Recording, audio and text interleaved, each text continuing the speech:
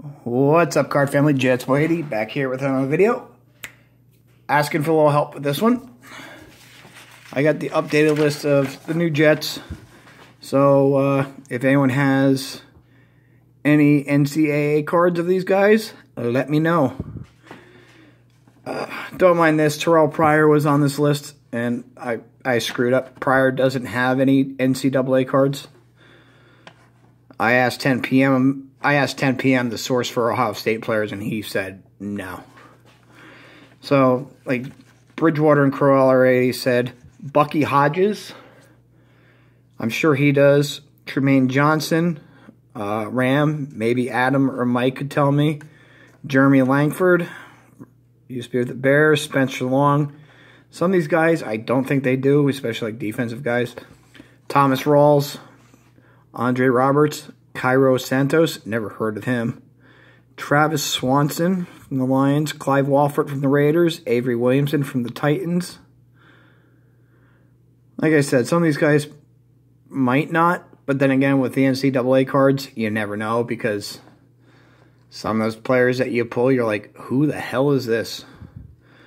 So, uh, yeah, if anyone has any, uh, my email will be in the description.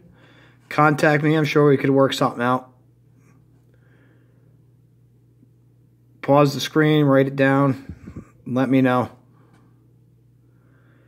Because like I said, when I asked about Bridge and Crowell, my LCS has been really crappy of late, and he really doesn't have a lot of NCAA cards since like he has like 9, 10, 11. He has like the older stuff. And I know the one card shop almost 45 minutes away. He really doesn't have any binders. He just sells like singles that he puts in a showcase. All right, everybody. Thanks for watching. Um, I'll probably be doing the same thing for this year's crop of NCAA guys at the Jets draft.